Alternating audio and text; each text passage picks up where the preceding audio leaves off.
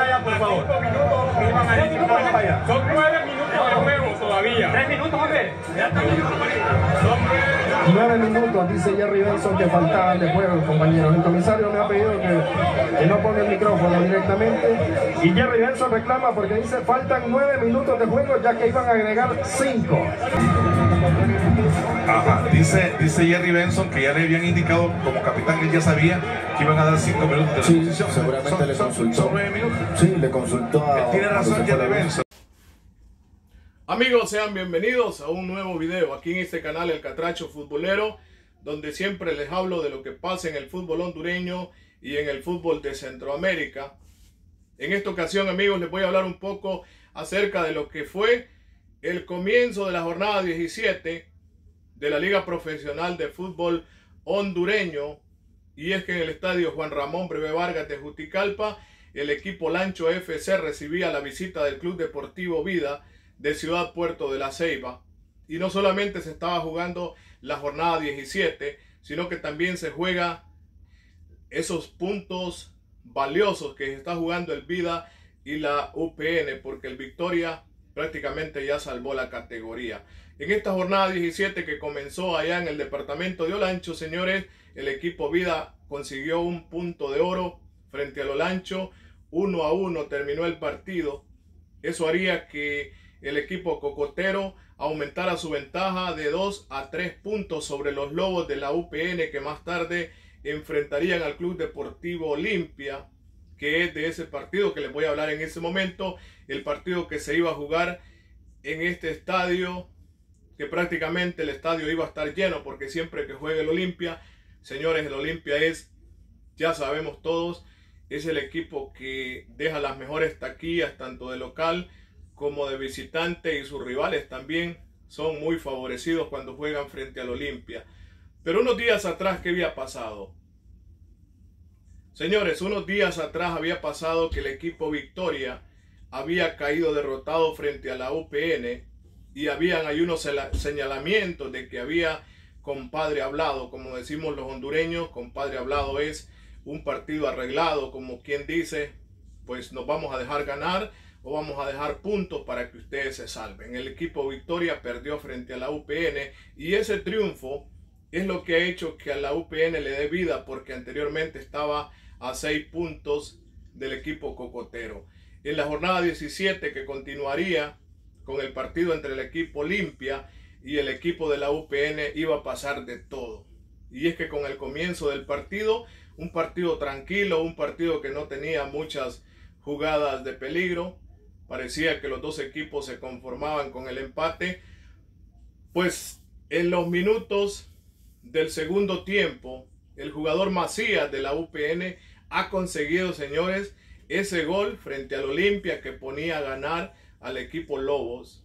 Y con ese triunfo, el equipo de la UPN, Lobos de la UPN prácticamente, se está salvando, vamos a decirlo así, porque el próximo partido del equipo Vida es frente al Motagua en Ciudad Puerto de la Ceiba y la UPN juega en Comayagua frente al Génesis de Reinaldo Tilgua. Son dos equipos que van a jugar de visitante, pero este partido frente al Olimpia era vital porque prácticamente todo el mundo pensaba que para el Olimpia no iba a ser ningún problema ganarle a la UPN. Pero ¿qué pasó, señores? Aquí viene la controversia. Para mí en lo personal, como aficionado del fútbol, igual a ustedes, pienso que la controversia no está que en el Olimpia haya perdido. El Olimpia es un equipo normal que puede perder cualquier partido. De hecho, ha perdido dos de los últimos tres partidos.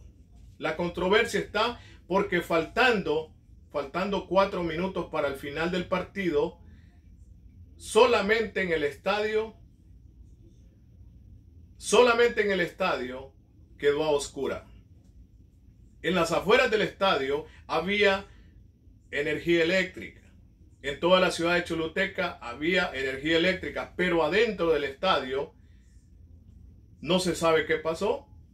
Pues todo quedó en tinieblas, quedó a oscuras y es de allí donde empiezan los reclamos de los jugadores del equipo Olimpia, porque a cuatro minutos del final hubo algo ahí, alguna mano peluda que vino y pues se metió donde debería estar con seguridad en estos partidos que son definitivos, que tienen mucho en juego. Debería estar la policía ahí resguardando, haciendo algo. Pues señores, vino alguien y bajó los switches de la luz y dijo, pues este partido hasta aquí va a llegar. El, lo que fue el comisario del partido habló con los jugadores, Jerry Benson. Jerry Benson estaba muy molesto porque él dice lo que se jugaba en este partido era más que tres puntos, porque se está jugando las primeras posiciones y también el descenso.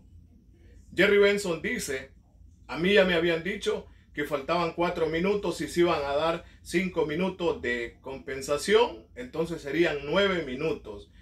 Pero el comisario también lo dice, nos vamos a ir al reglamento, ya después de jugarse los 35 minutos del segundo tiempo, el partido prácticamente se puede dar por concluido para así darle el triunfo a la UPN. En estos momentos hay mucha controversia en el fútbol hondureño porque muchos están diciendo que la cadena de televisión Televicentro tiene los derechos de todos los equipos de la Liga Nacional menos los del Club Deportivo Vida y que ellos, pues a ellos habrían hecho algo también para que el Vida sea el perjudicado y que el Olimpia se ha dejado ganar porque al Olimpia le conviene que los Lobos de la UPN sigan en primera división porque es donde ahí donde es como su cantera. Yo agarro a este jugador porque me gusta, este jugador tiene buen talento.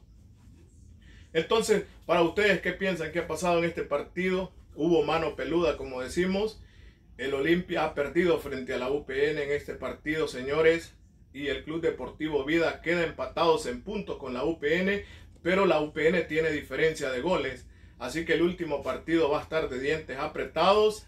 Y así que esto y más con estas controversias y estos escándalos, la liga esto no le, esto no, no le favorece al fútbol hondureño. Deberíamos de, de estar preocupados por lo que está pasando, porque hacía años que no pasaban cosas como esto en el fútbol hondureño. Espero que les haya gustado el video, dejen su comentario si les gustó, a ver qué opinan de esto que ha pasado en el partido entre el Club Deportivo Olimpia y la UPN en el estadio de Choluteca.